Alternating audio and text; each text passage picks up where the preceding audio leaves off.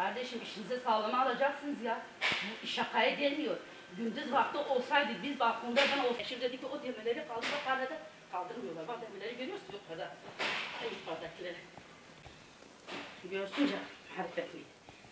Allah o müteahhitin belasını versin. O arsa sahibi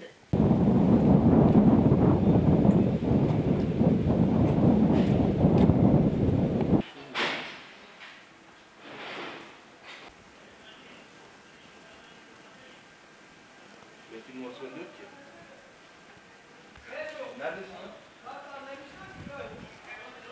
Bir an işe girse, işe girse bir an.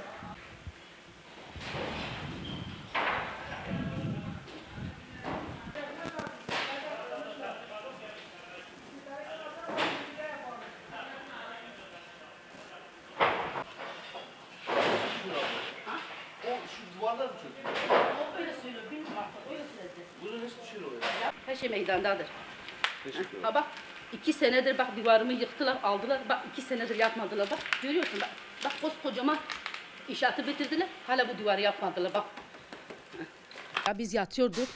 Öyle bir ses geldi. Sandık ki deprem oldu. Eşime dedim ki dedim Veysi dedim ki çabuk kalk çocukları dışarıya hemen çıkart. Deprem oluyor. Dedim deprem oluyor. Bir balkona ba- baktım ki ses geldi balkonda. Balkon tarafına baktım ki balkon duman içinde, toz içinde, duman içinde. Mahvolmuş. Eşime dedim ki kalk kalk inşaat çöküyor. Hep balkona gelmiş. Düşmüş balkona gelmiş. Ondan sonra hala da o korkuda, o şoktayım. Ne, neler uğra- uğradığımı şaşırdım. Yani bu inşaat olduğunda beri bize zarar veriyor. Bunun fayansının hepsini kırmışlar bak. Bak görüyorsun. O, o tarafta öyle leheni bak. Aha.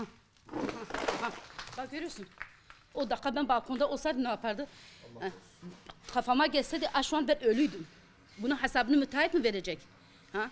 Kim verecek? Ben şikayetçiyim o müteahhite.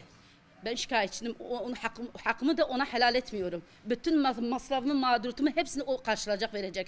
Bak görüyorsun, gelsin baksın. Ha. Biraz vicdanı varsa gelip bakacak. Kendi benim yerime koysun. Ne olduğunu böyle şey işte e, yukarıda birdenbire düştü falan gibi detay görüntü çekeceğim. Buyurun. Ne Ya- oldu efendim? Ya biz Uyuyordunuz galiba. Uyuyorduk.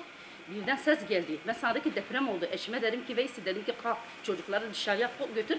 Deprem oldu. Baktım ki arka tarafta ses geldi. Aşırı ses geldi.